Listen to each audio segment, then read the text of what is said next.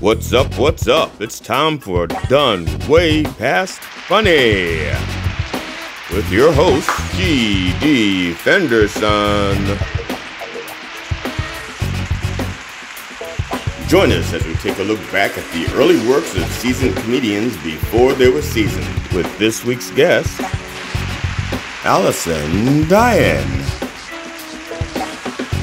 It's time to get down and get dope with Done Way Past Funny.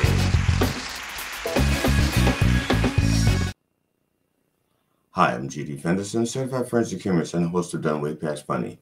Thank you for joining us as we continue our interview with comedian and actress Allison Dyen. Enjoy. And matter of fact, I'm gonna, and here we go. I'm gonna do part three, and no matter what, I'm gonna do part two shortly after that. I mean, part four, not two, part four, because there's two parts left. Um, and we've actually we don't know this. I don't, actually I don't know how long we've been talking, but this interview we've Two been on. We, yeah, we've been talking for two hours, but the show didn't start for like maybe twenty. So we may be like ninety minutes in. I don't know, but Uh, gotcha, gotcha. yeah, Okay. I have no idea. So here we go, part three at the Camel. The camel. Oh, man, I did quit a job once um, because it wasn't a good fit for me. Because there was a boss. And you guys just met me, but you can see that shit wasn't going to work out well for me. Uh, the thing I don't get about quitting is giving two weeks notice. I don't understand why employers want two weeks notice. Because don't they know nobody does shit after they give their notice? Okay, that would be like if I gave my husband two weeks' notice to a divorce and he expected blowjobs in the meantime. But it's a good thing I quit that job because about six months after that, that position actually got outsourced to India. And I don't believe in outsourcing, unless it is for blowjobs. Needless to say, my husband and I had to move in with my mother. But she's sweet. She lets us live rent free, which amazes my husband because his mother started charging him rent in the womb. As soon as he popped out, she was like, You owe me nine months' rent. and extra for property damage. So, my husband's female friend posted on Facebook that she doesn't think men should open doors for women anymore. Because in medieval times, it meant that the man was giving the woman permission to enter. Well, in 2019, I'm pretty sure it means that he's asking for permission to enter her pussy. I'm pretty sure that's what it means. But I don't, um, you know, I don't get these women that just want to do everything for themselves nowadays. You know, they think doing shit like changing their own tire is the most empowering thing in the world. Fuck that, okay? if Beyonce got a flat, she wouldn't change it. She would just buy a new Rolls Royce. Right? That's the kind of empowered I want to be. You know, back in the day when a ship went down, it was women and children first, because men were willing to die for us. Right? They were willing to go down with the ship. Today, I'm going to get my man to go down on me.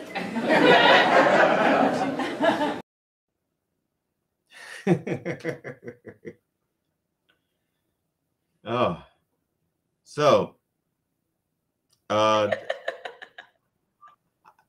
I had it was funny when when you came back. You actually your frozen your screen was frozen for a second, and and it was Yeah. frozen to let you falling asleep. It was like because it was probably froze during a blink or something. Oh yeah, I was probably looking down or something. Yeah, and look, and so, oh, she fell asleep during her own sets. No, it's her, the screen is frozen. no, no, I was probably looking down like, oh god. So here's the thing that, that I'm surprised that nobody said anything. It's like you said your husband has a female girlfriend, and I was expecting some kind of reaction. There was a reaction in the audience. Some women went, "Ah." Did you ever hear? You ever notice that? No, but that Yeah. makes sense. You go, you go. So my husband has a female girlfriend. It's like, ah. And I, and I, and I thought to myself, that's your reaction? It's like, it's so cute. He has a female girlfriend. Ah.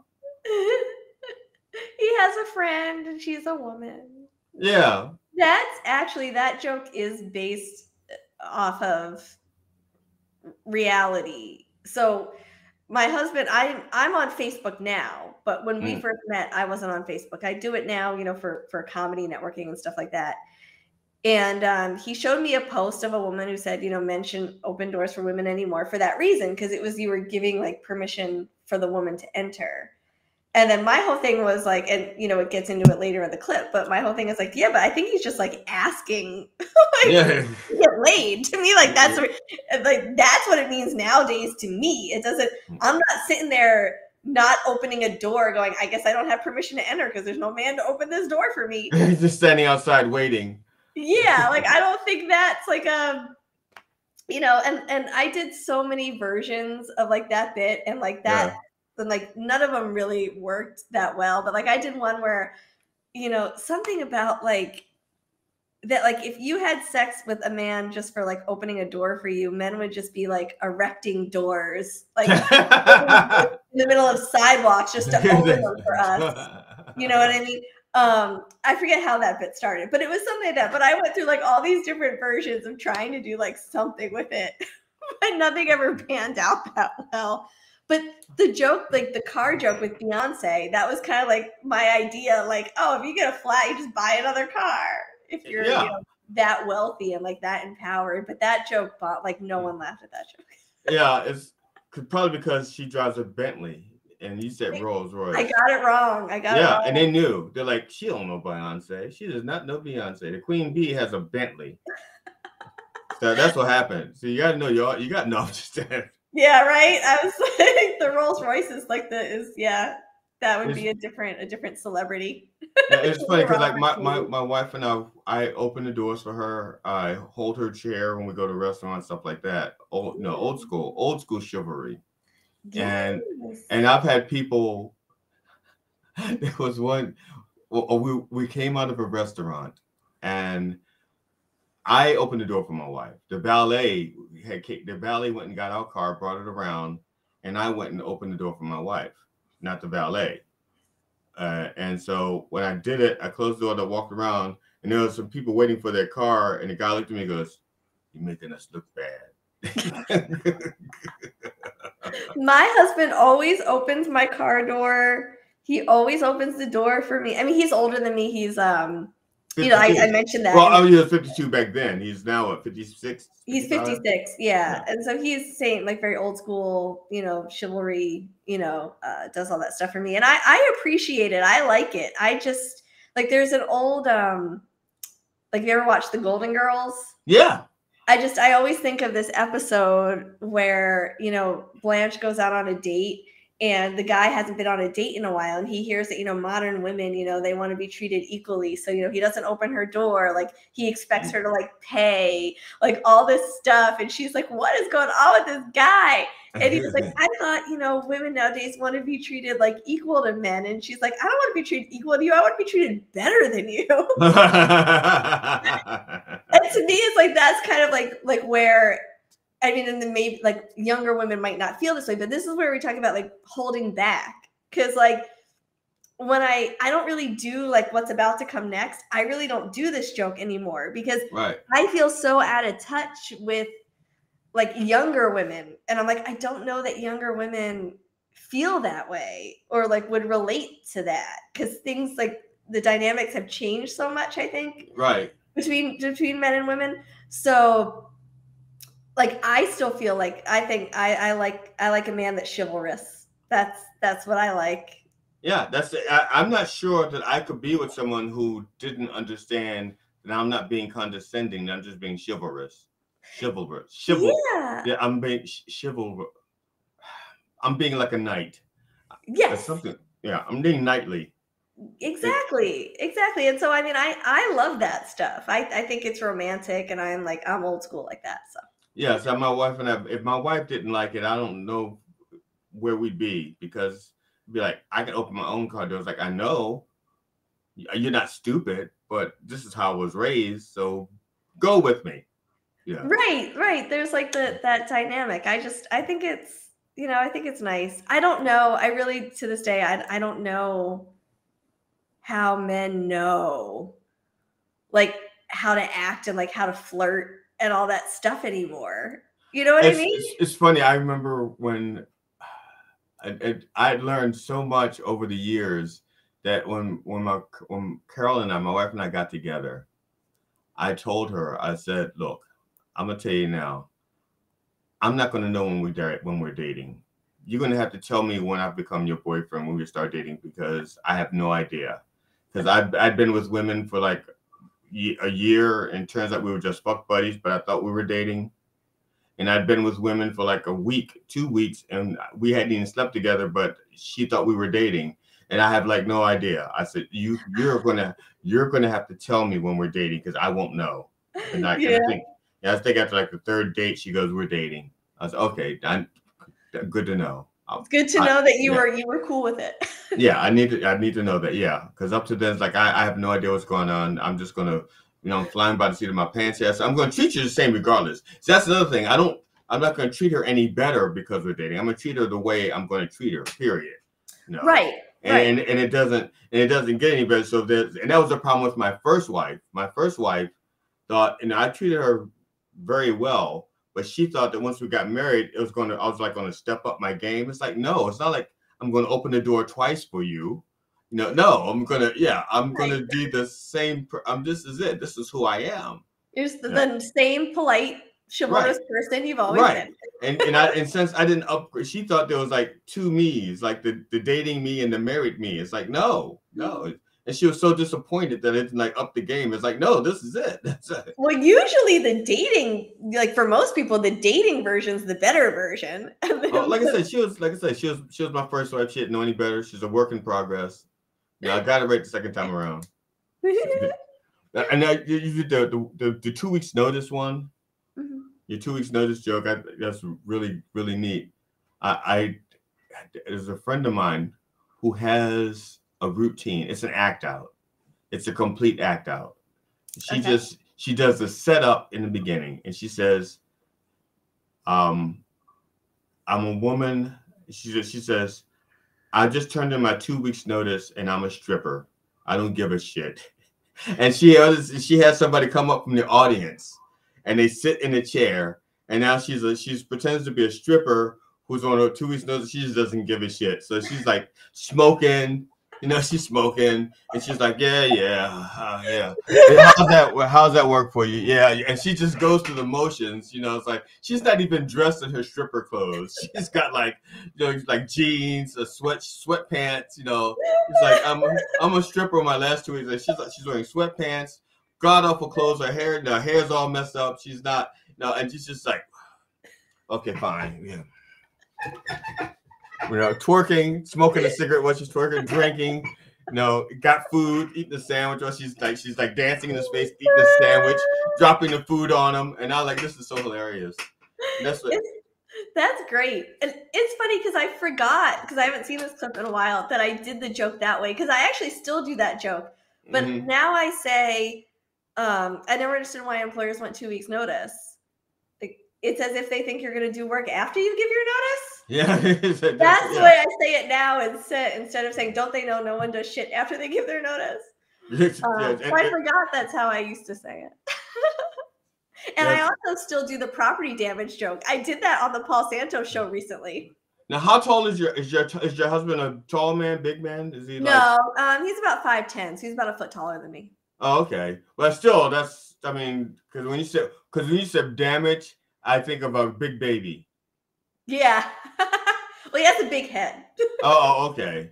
Yeah, because I was thinking that's that's one thing I thought like you could like mention that like what kind of damage like oh yeah he was a big baby you know he no he, you know you know explain what why why was there damage because some of those people out there had babies and they're like going sugar I had four kids what damage it was like I was open for business closed for business that's it I'm ready to go. I was fine. Yeah. Yeah, I know you're right. You're right. That would have been a good idea to add something like that. Yeah. That's why. That's why I asked. That's like, but sometimes people have the material, but literally in the moment they forget. Like something happens and their brain skips ahead, like skip ahead to like the next joke, or something happens in the audience and it distracts you. Then you just literally your brain went in your brain. Your brain has delivered that line, but your mouth didn't, and you're just going on to the next thing. So that's why I, I say it, but I don't say it like you may not have thought of it. I'm just saying, it's like it was to me. That's where my brain went. Oh yeah, no, I didn't. I didn't even think about that, and and it's probably too because I've never had kids. Oh, So like, so like in my mind, everyone who has a baby is just like there's going to be some sort of wreckage down there. oh yeah. Oh, well, I've never had kids. you can't do that joke until you have a kid. I'm sorry. No, I'm just teasing. you know, you have to you have to really push a watermelon. Well, actually, you don't really have to have a kid. Just push a watermelon out your vagina. yeah. I mean, you you'll have to swallow a seed first. Swallow a seed and wait, but then push it out. Yeah, yeah, it grows and push it out. Yeah, and that way you don't have to raise the watermelon after you're done. Right? Yeah. You just- Yeah, yeah, because if the kids, you're stuck with it. Yeah, but the watermelon, you could just say, okay, um, we're gonna have melon balls now. Like, all right. I grew yeah. it myself. Yeah, I grew it myself. so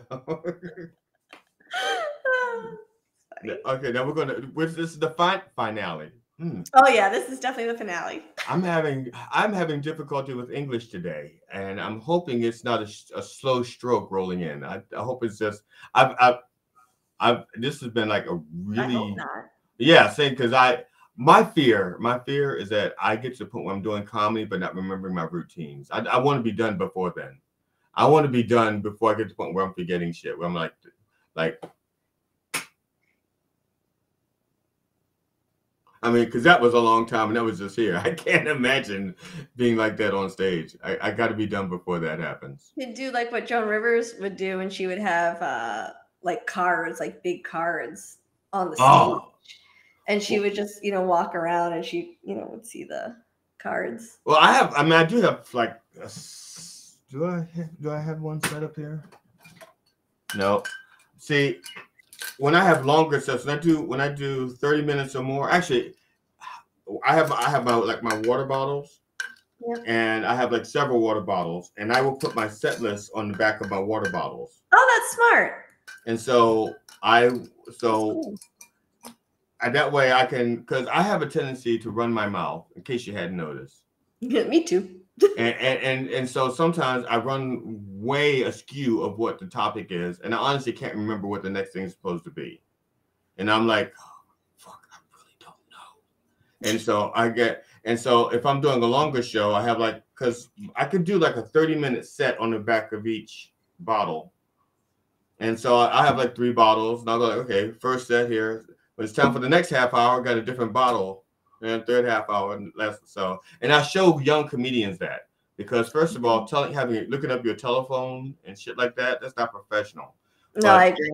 But the best of us have set lists. And I used to put my set list behind monitors, but then I found out that monitors are all in the same place. Oh yeah. And, then I used to, and then at some places, if I'm on a risen stage where the audience doesn't see it, I will take my set list on the floor. You know, so I'll put it someplace. But then I went, that's I'm having to think this out too many places. I said, Mm. I put it back in my water bottle. No matter that way, no matter where I perform, if I got my water bottle, I got my set list. It makes sense, and it's perfectly natural to take a drink of water, and, Yeah, and nobody and, thinks anything of it. and that's why I show young comedians and and say they'll go, "That's genius. That's genius." I. I said, "I know, I know. That's why I'm showing you." But the thing is, the word. But the bad thing is, I'm making them better better comics because they're looking more professional, Yeah. which means I'm getting less work. yeah, but can they all do 90 minutes? No, but not everybody wants 90 minutes now either. No, Yeah, they, that's true, no, because that's they true. think they think that if they get like five comedians to do 90 minutes, they're gonna have all their friends coming in. It's almost they're almost turning shows into bringers. Mm, You know, yeah, I can see that. And also they don't they they also don't have the confidence in the comedians like, can he do 90 minutes? Can he be funny? Or this way they just say, well, he only has to be funny for 20 minutes or 10 minutes, and and and the audience, if he's not funny, is only gonna suffer for a little bit. But if somebody Yeah. books me to do a 90 minute show, they're relying on me to be funny for 90 fucking minutes. well, yeah. Uh, I- And I well, I'm saying, and so and they don't look. They don't they unless they actually watched. They went through and watched any of my material. They actually sat there, and no booker's gonna watch like my a 90 minute special of mine to see if I'm funny. They're not. Right. Yeah. Yeah. I can see that. I can see that. Yeah, so like, so it hurts me. Yeah, it hurts me, you know. So, Yeah. but but I'm but I'm only I only do them because I can, but also I'm trying to document my funny. I'm trying to record all the stuff that I want to record before I'm done comedy. Yeah. I want to I want to document. I want to all record it so that at some point I can sit back and go, okay, I tried. Yeah, and I my plan is to do basically exactly what you did. My plan is to self-produce my own comedy special. Yeah. Essentially. That's I mean that cuz it's something that I've always wanted to do and I don't like I agree. I, I'm I'm not going to get like HBO, Netflix. No one's going to be knocking on my door, so I'm just going to do it myself. Yeah. You know why not? Same people who do like self-publishing that are writers. Yeah. You know, they just Exactly. you know, their books on their own. I'm going to do that and put it out there. So Yep. Or people who have their own kids instead of hiring a surrogate. No, no, they just yeah. Because comedy is our baby. Comedy is comedy is our baby. We're gonna have our own baby. I'm not trusting you to. I'm doing it myself. I do it myself. Exactly. Sometimes you need to like. For me, it's like, okay, here's the proof. Here's the proof I can do Yes. Yeah. This. You know, Yeah. you're not going to give me the chance. I'm going to just do it myself and show it to you. Yeah. And they'll they're like, oh yeah, big whoop. What are you gonna do next? No. I know, right? Netflix is going to be like, eh. yeah. So I, I'm like, I'm I'm fine. It's like it's not that I don't care that I don't have a next Netflix special. It'd be nice only because it'd be money. Yeah. But but as far as me, not. But as far as me doing the shows and them being out there, I have you know, as long as if, if someone people watch it, they had a good time. I'm fine with it. You know. Yeah. I mean, I'm, I'm, my feeling is I'll probably just put mine on YouTube. Yeah, that's what my mine. I Yeah. I have three. I, I have mine's on like YouTube and um. Um, Sparkk TV, S P A car S P. See, there's something wrong here. S maybe I just need a nap. S P A R K K TV. Okay, and it's um I like again Sparkk TV. Sparkk TV, and it they do basically independent stuff. So Oh, cool. Yes, I have. So I have like like so this this done way past funny. It will be on Knob TV, which is on Roku, and it will be on Sparkk TV, Okay. um, and and on YouTube. But it's Sparkk TV, but Sparkk it's independent. I'm letting you know this because they do ser- they do series. There's like sitcoms, dramas, stuff on there. Just independent artists who have no other platform. Oh, wow. That's cool. Well, not no other platform, but it's it's for that, you know. So there's other platforms. yeah. Um, so that's I can give you that information also. Yeah, definitely. That's great. Okay, so this is part four, and this is only like a minute and something long, but it was so here we go.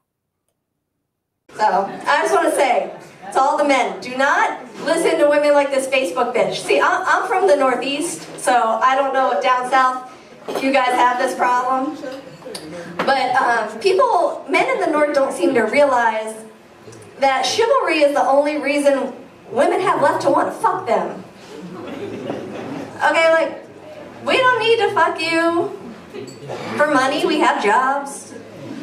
We don't need to fuck you to have babies. We got sperm banks. We don't need to fuck you to have an orgasm. A lot of y'all weren't good at that anyway. See, now that's a good joke. So ladies, if you're with if you're with a man right now that did not laugh at that joke, you can do better. Yeah, that's right. You can do better. So I had a little chat with my husband. I sat him down and I said, look, if you don't open my door, I'm not going to open my legs. And if we're walking outside and it's raining out and there's a puddle, put your jacket over the puddle. Because if my Louboutins get wet, then I won't.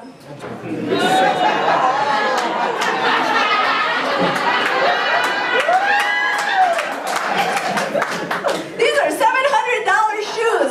I will learn to fly. because I'm a lady.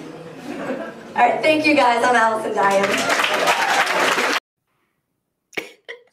It's funny because I I don't know how I think that that ending is really like it's, it's that the, thing about the, the shoes the yeah, and, and and then it, and because I'm a lady and that's like a perfect ending I was like, yeah, I, I think even if you did like a 90 minute show, you could end, you know, that would be like a perfect ending, but like like you could end it with like the most raunchy thing. It's like and, and, and when I when my man eats me out, blah blah blah, I, I expect to see juice down the side of his face, and I expect him to be sweating and working hard because I'm a lady, you know. And that's it, know, whatever. I just yeah, I think I think I think that is such a like a beautiful ending. Oh, thank you, thank you. I so my husband to this day he always says to me, "You should do chivalry more," and I'm like, I don't. And that that joke is like so dependent on to like the crowd and yes, yeah, like you know if it's a lot of men in the audience, they're not gonna laugh. No, because the ones that don't do it feel like gonna feel like crap. Right. Yeah. It's yeah. like it's it's such a, a, female you know geared joke you know yeah. so I don't really do it a lot, but he's always like, "No, that's good. You should do it more." So no, like, you know why? Because he doesn't. It doesn't make him look bad. Yeah, it's but right. but almost half the men out there don't do that, and they're gonna be like, "Yo, yo bitch up there trying to get me in trouble, trying to wreck my marriage." You know, it's just, it's just they're, they're gonna be they're gonna be mad. They're gonna be like, no, and then and then the ones like, how come? You, why don't you open my door for me? Especially if they used to do it, right? Stop. It's like, yeah, it's like why did you stop? It's like, I don't know. I, I, thought you could open your own doors. I don't know. Or I don't know, the doors got heavy. I got I got the rheumatoid arthritis. there was like so many other things I've tried with that, like with that joke. It was like stuff like you know my husband doesn't open the door for me like anymore and then he like wants me to give him a hand job it's like my hand's too tired for opening all these doors like, yeah like i came up with like so many other ones i can't remember what they all were but it was like um something about the bus like something about getting something about getting off and getting off the bus. I can't remember, but it was like I tried like so many different things to put in there. Now there was uh and actually this is a this is very I can't even express how true this is. It's I was I was with my first wife and we were walking through the airport. Now the way my brain works is that I notice things that don't make sense. I notice patterns really I see patterns and when something breaks the pattern, it catches my eye right away. Mm. So we're walking through, and I, am seeing everything in the airport. I, I, just, I just can't help it. I'm just seeing everything, and we're walking, and this lady is wearing a white blouse but a black bra. Okay. Okay. And the reason why I noticed it is because she, one of her buttons, her blouse was misbuttoned. She skipped a button, so her blouse was open. Oh, see, yeah. See, so you are, see, you're there, yeah. but and I see this and, and it's like it's open here and she was she was like a d cup easily easily between c and d i didn't i'm not saying i noticed it but i noticed it you know what i'm saying i wasn't yeah. i wasn't gawking but i so i saw it and so my wife and i kept walking and i said baby I, and i stopped her i said i'll be right back and i turned around and went to the woman and said excuse me ma'am you don't know me and i said i just think you should know that your blouse is open and I said, if you want it open, fine. And that's what I said, because I said, I said, if you want it open, fine. I'm just saying it's, but, and and I said, it's not a, it says, I said, it's not a pervert thing. I just noticed things like that. Uh, and then, I, then I made it really bad. I said, if you hadn't been wearing a black bra, I probably wouldn't even noticed it at all. You know, I'm like, I'm really making it bad. But then she goes, but then she, so I'm trying to explain to her, I'm not a pervert. I'm just trying to be helpful. Yeah. And, and I don't know if I'm making it better or worse but when she's but when I'm done, she says, "Thank you." You know, I don't think most men would have told me that. Right, and, they would be enjoying it. Right, and and so I did this. She thanked me. I go on with my wife, and we start walking. And my wife goes, "What did you? Why'd you have so much to say to her?" And so I explained to her. I said, "This is what happened," and then this is what she took out of it. Why were you staring at her tits? that's, that's, no, no, I wasn't. I, said, I wasn't staring. I said, you, you know how my brain works. I see things that the pattern is, then it's broken, and I have. I know. I, I, thought I was doing a favor. I said, I would. I if someone, if if you were, if you were in the same situation, I would like to think that somebody would be honest and and help you instead of let your tits hang out for the rest of the day. Oh yeah, no, I agree. I feel like it's similar, like if a guy's fly is down or something like that. Yes, Like thing. Yeah. you know, if you notice something, like just let, like, hey, just in case you didn't realize. And You I know? wish I had thought of that example 20 something, 30, 40 years ago. I, I was too bad. I was too busy being defensive to think of that. Thank you now. Where, were, where were you back in 2000, in 1999? In 1999, I was in Pennsylvania. Oh God, where's like where were you when I when I needed that bit of wisdom? No, was it? Yeah. Yeah. I'm GD Fenderson, certified forensic humorist and host of Done Way Past Funny. Thank you for watching our continued interview with comedian and actress Allison Dyen. And please come back to watch more of our interview with Allison Dyen. And when you come back to join us, bring a friend.